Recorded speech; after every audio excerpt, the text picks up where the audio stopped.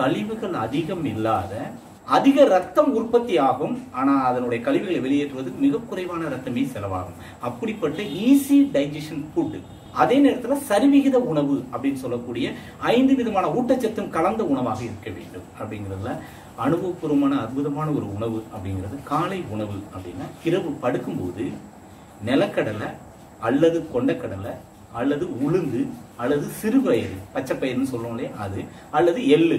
இந்த ஐந்தில் ஏதேனும் ஒன்று ஏதாவது ஒன்று மட்டும் அவரவர் கைப்பிடி.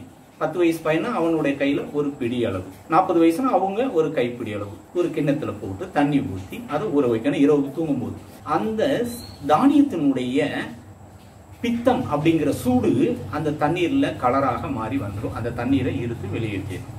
அந்த சிறுதானியத்தை மட்டும் நொறுக்கு தீனி மாதிரி காலையில் காலை உணவுக்கு அதை நாம் பச்சையாக மென்று சாப்பிடணும்.